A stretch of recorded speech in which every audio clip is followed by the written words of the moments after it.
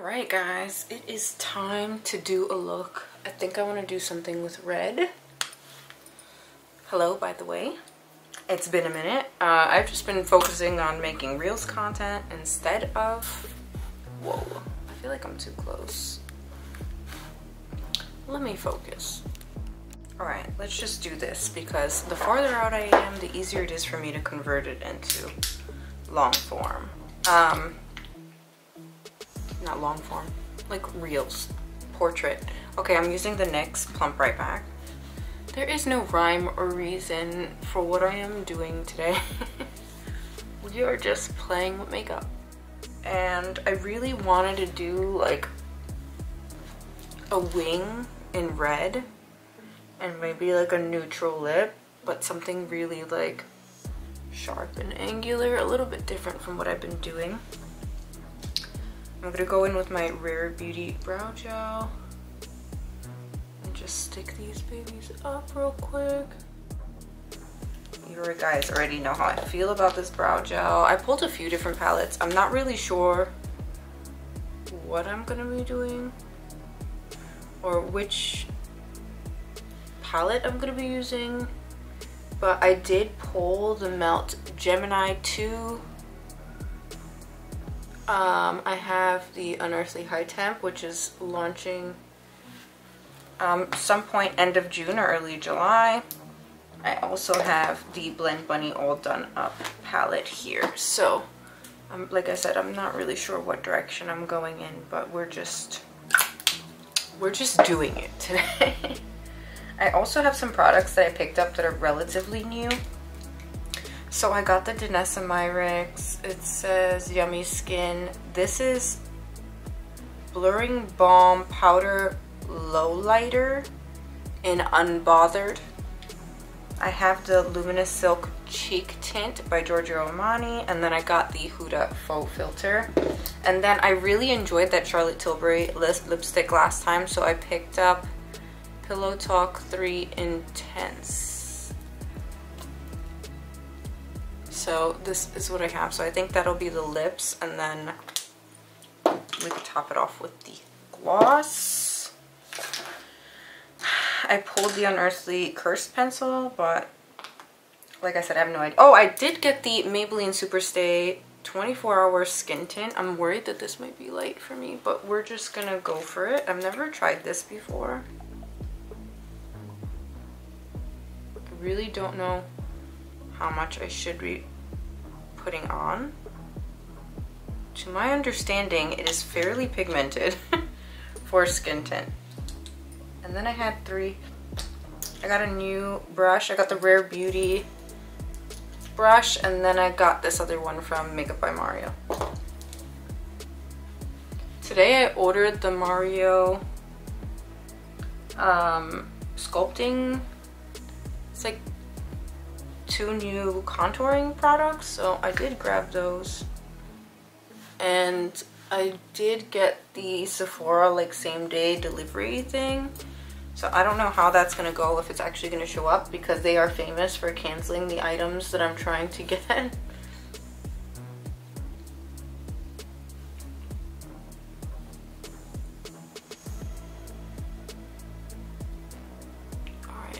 see. So far I like it. It's nice and lightweight. It isn't super, hold, please, hair, get it together. Um, I'm not having a hard time blending it. It isn't super oily or slick. In fact, it's the opposite. It's quite matte for a skin tint.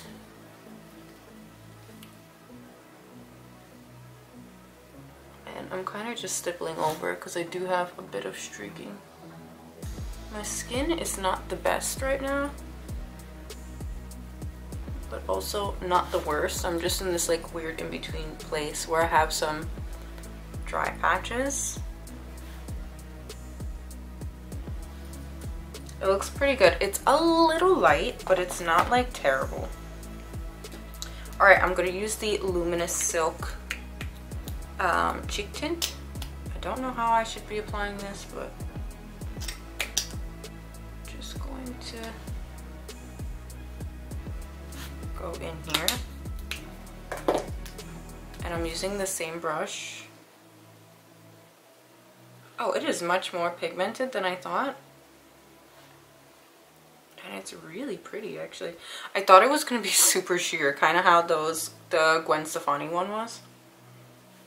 But I feel like this is the perfect amount of pigmentation. Like, it's not so scary that you look bruised, but at the same time, it's blending really nicely into the skin.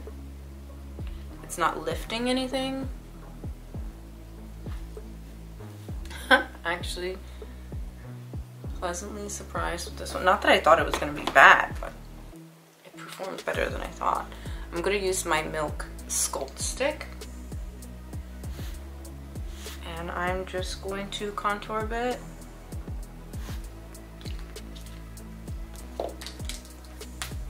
And push this in.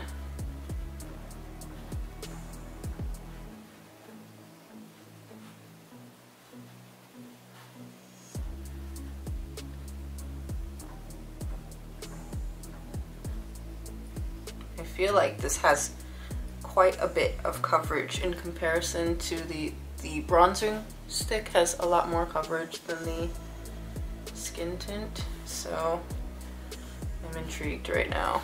It could get scary really quick. But I love, I've been really loving this contour stick lately. It's the perfect shade it's blendable, but it's not super creamy that it's gonna like move around everywhere. I'm just running a bit of that onto my lids, whatever's left on the brush.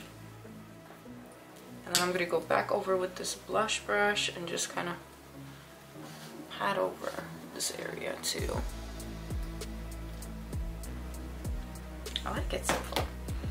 I want to use this Danessa Myricks. My camera decided to die on me. I don't know how much longer I have, but I want to at least show you the Danessa Myricks Yummy Skin Highlight. I did apply some over here and I have to say it's absolutely beautiful. I'm somebody who's always looking for the perfect pink highlight. It's just so pretty. And I have this on Unearthly 812. Our brushes will be back on the website soon, by the way, guys. It's not lifting anything. It is so romantic and pretty.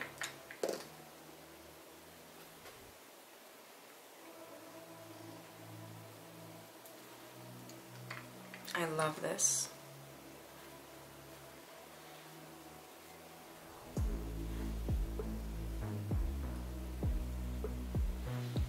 It is so, so, so pretty.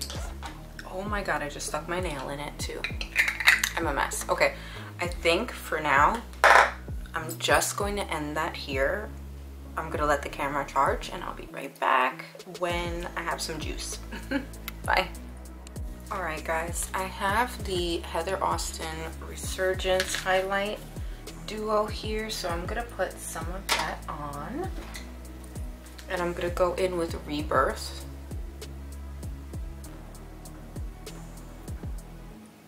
And I'm just gonna enhance this pink even more. It didn't really need it, but I did pull it. It's so pretty.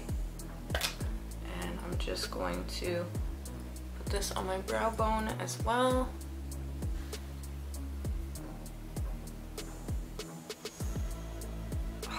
such a gorgeous highlight. And then I think I'm gonna use my Melt Gemini so I'm gonna go in with Lovesick and this Rephr 03. And I am just going to start building this wing over here.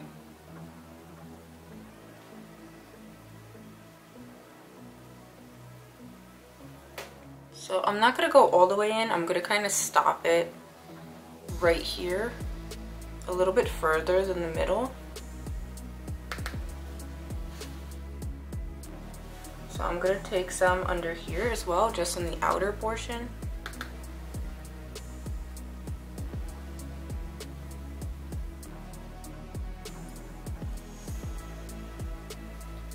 Please keep in mind too, I'm a little nervous because I have not set my face. All right, I'm going in with my Singe EO2 and I'm just going to blend. I do not have any additional product on the brush.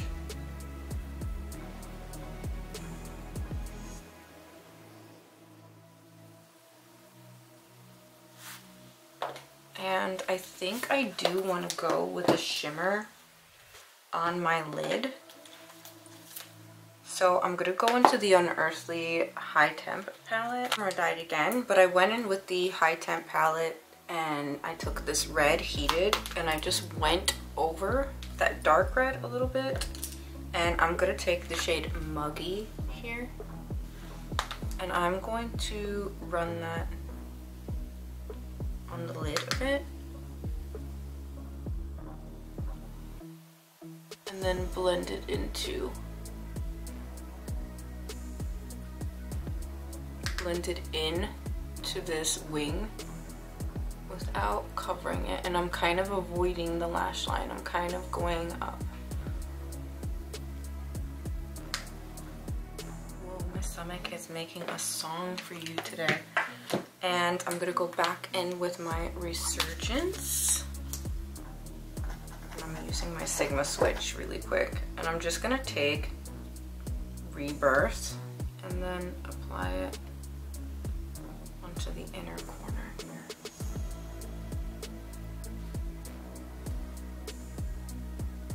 Gonna blend that into the other shimmer. And that's it. Off camera, I did go in with the Urban Decay 24-7 Glide On in Alkaline. This is hands down my most used one. I'm gonna use the Cursed Lip Liner.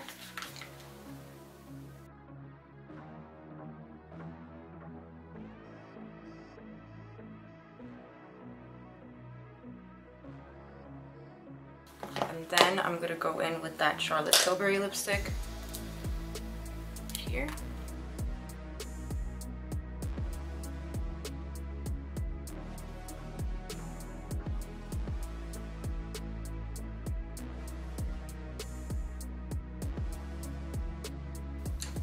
Gonna kind of blend these two together with the lip liner.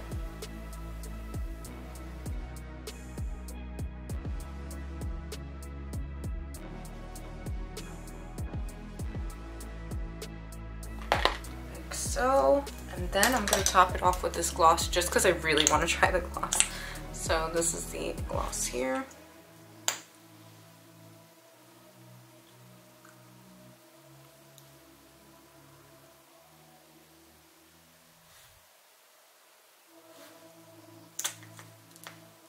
And that, my friends, is the finished look. Oh, I do need to put on mascara. I'm gonna do that I'm trying this Clinique High Impact Hi-Fi mascara. I tried it yesterday. I like it. It's really easy to apply. It's not a crazy wand. It's just like this little cone shape. It did not irritate my eyes, so that was nice.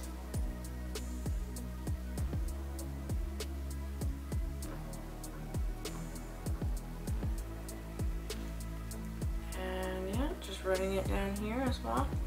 I am not gonna set my face because my skin is really dry right now and I honestly if you have dry skin I don't think you need to set this one um, this foundation.